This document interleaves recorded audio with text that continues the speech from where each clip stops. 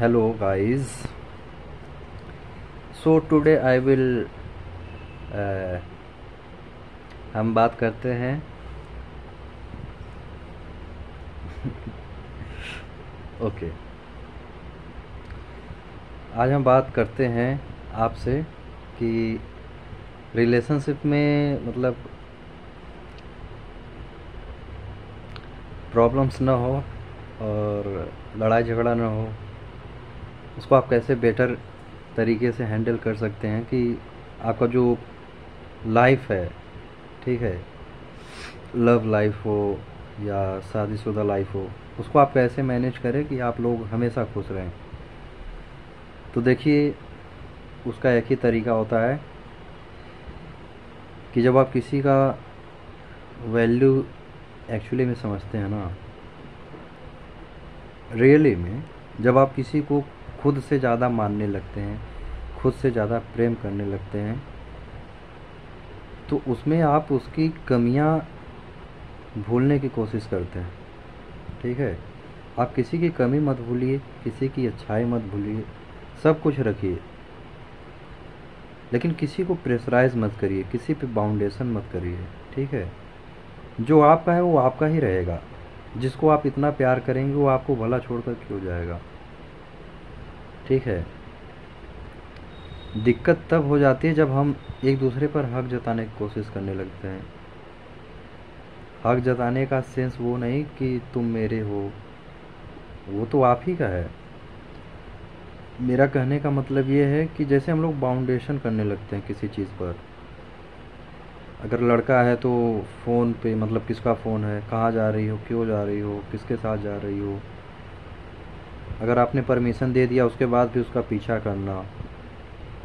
Simply कहने का मतलब है लैक ऑफ़ ट्रस्ट अगर है तो भाई रिश्ता टूट जाएगा आपका। एक रिश्ते में विश्वास होना चाहिए। भले से आप कितना भी दूर हो, कितना भी पास हो। अब जो जाने वाला है, उसको तो आप रोक नहीं सकते। जो धोखा देने पे उतर ही आएगा तो आप उसके साथ थोड़े हैं। कोई भी आपको चीट कर सकता है ना। लेकिन जो एक सच्ची विश्वास होती है ना, वो कभी नहीं मरती। ठीक है? तो प्रेम, लोग समझते हैं कि प्रेम है, सब प्रेम करते हैं। प्रेम नहीं करते भाई। प्रेम के पहले होता है विश्वास। आपका जितना अच्छा विश्वास है, जितना अच्छा अंडरस्टैंडिंग है एक दूसरे के साथ, वही प्यार का एक रिवर्स होता है।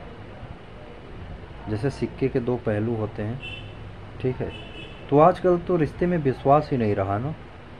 इसीलिए झगड़े होते हैं, लड़ाई होती है, बहस होता है, सब परेशान होते हैं। और रिश्ते जो होते हैं, बोर लगने लगते हैं। रिश्ता बहुत ही नाजुक डोर से जुड़ा होता है एक दूसरे का। इतना नाजुक डोर से इतना अच्छा विश्वास जुड़ना ऑलरेडी इतना प्रेशर है आपके रिश्ते पे, विश्वास का। तो ध्यान दोनों को देना चाहिए कि अगर किसी से कुछ गलती हो भी जाती है तो मुझे कैसे हैंडल करना है? क्योंकि आप कितना भी झगड़ा कर ले, लड़ाई कर ले, आप उससे दूर नहीं रह सकते। ना ही आपके, उसके बिना आपका मन लगेगा, ना आप खाना खाएँगे, ना आप पानी पिएँगे, ना अपने हेल्थ पे ध्यान देंगे। तो बेटर यही होता है कि आपका ज़ुबान और हाथ कभी न खुले। ये दो चीज़ें ऐसी होती हैं जो अगर एक बार खुल जाएँ तो फिर कभी नहीं रुकती। इसलिए ज़ुबान पे कंट्रोल करना बहुत ज़रूरी हो जाता है। अगर आप एक अच्छे रिश्ता चाहते हैं तब। इसका कोई ट्रिक नहीं है। जैसे पढ़ने का कोई शॉर्टकट नहीं होता ना। सक्सेस का कोई शॉर्टकट नहीं। आपको पढ़ना है तो पढ़ना है। हार्ड वर्क करना है, करना ही है। लेकिन एक डायरेक्शन होता है ना। आपको प्रयागराज जाना है। आपको रूट ही नहीं पता है कि प्रयागराज का रूट कौन सा है। तो आप भ्रमण करते रहिए पूरे भारत का। आपके मन में तो ये श्रद्धा है ना कि मुझे प्रयागराज ही जाना है, लेकिन रूट ही नहीं पता है। तो आप भटकते रह जाएँगे। इसीलिए मेहनत के साथ साथ डायरेक्शन का होना भी ज़रूरी है। तो जब आप रिश्ते पे अपना इन्वेस्ट कर रहे हैं, अपना टाइम इन्वेस्ट कर रहे हैं, अपना विश्वास इन्वेस्ट कर रहे हैं, अपनी पूरी लाइफ बिताने का कोशिश कर रहे हैं किसी के साथ तो एक डायरेक्शन तो ज़रूर होना चाहिए। बिना डायरेक्शन का आप भटक जाएँगे। एक दूसरे की समझदारी बहुत मैटर करती है। ठीक है? अगर मान लीजिए मुझसे कुछ गलती हुआ तो सामने वाला मुझे कैसे रिएक्ट करता है? सबसे ज़्यादा डिपेंड उस पर करता है। कोई भी मैटर हो, छोटी से छोटी बात हो, बड़ी से बड़ी बात हो, उसको कैसे हैंडल किया जा सकता है? वो सामने वाले के ऊपर डिपेंड करता है। ठीक है? और ये हंड्रेड परसेंट श्योर होता है कि अगर आप किसी के साथ पूरी तरीके से लॉयल हैं, अगर वो भी लॉयल है तो आपका रिश्ता कभी ख़राब नहीं होगा। ख़राब होता है जब आप उस रिश्ते का मज़ाक बनाने की कोशिश करते हैं। मज़ाक इन द सेंस आप दूसरों को अपने रिश्ते के बारे में बताना शुरू कर देते हैं। नज़र लग जाती है यार रिश्तों को। ठीक है? इसीलिए रिश्ते में किसी को भी शामिल मत करिए। थर्ड पर्सन हमेशा रिश्ता ख़राब करता है। तो थर्ड पर्सन से हमेशा बच के रहिए। आपकी गर्लफ्रेंड है, प्रेमिका है, आपकी वाइफ है, आपके कोई भी दोस्त हो, उनसे दूर रखिए। लड़की उसकी दोस्त है, उसको उससे दूर रखिए। ठीक है? आप दोनों के मैटर में कोई नहीं बोले कोई इंटरफेयर ना करे, कोई आपको सलाह ना दे कि उसने ऐसे कहा तो तुमने ऐसे क्यों नहीं कह दिया। समझ रहे ना? तो रिश्ता आपका है अंडरस्टैंडिंग आपकी होनी चाहिए। एडवाइस आपका होना चाहिए डिस्कशन आपका होना चाहिए, ना कि किसी थर्ड पर्सन का। जब हम किसी तीसरे की बात सुनने लगते हैं ना, तब हमारा रिश्ता ख़राब हो जाता है। जब हम किसी की बातों में आ जाते हैं और अपने रिश्ते पर विश्वास नहीं रहा, अपने पार्टनर पर विश्वास नहीं रहा आपको, वहाँ पर दिक्कतें आने लगती हैं। तो मेरी एडवाइस यही है कि भैया, किसी से कुछ मत कहो। आपका जो भी मैटर हुआ है, जो भी बात हुआ है, आप खुद बात करिए एक दूसरे से। और माफ़ी मांगने की जो कला है ना, ये रिश्ते को बहुत सुंदर कर देता है।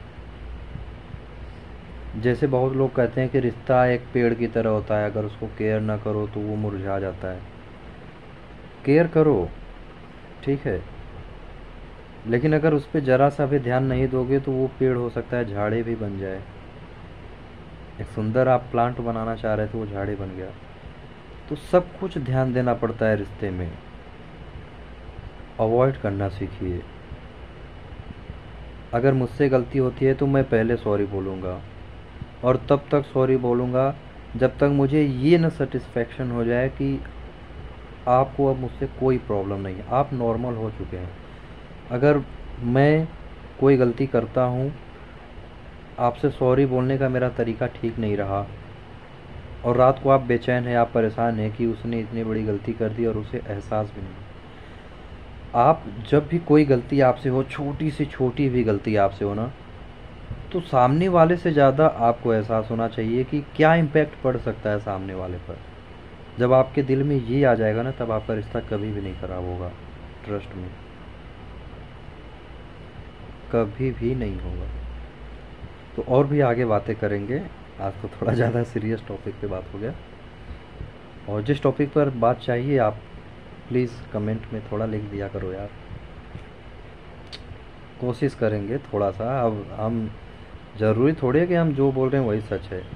भाई, धरती पे हर बॉडी अलग है, सबकी मेंटेलिटी अलग है। लेकिन एक डायरेक्शन होता है ना, एक नियम होता है किसी चीज़ का। अगर उसे आप फॉलो करेंगे तो कोई भी चीज़ बेटर हो सकता है।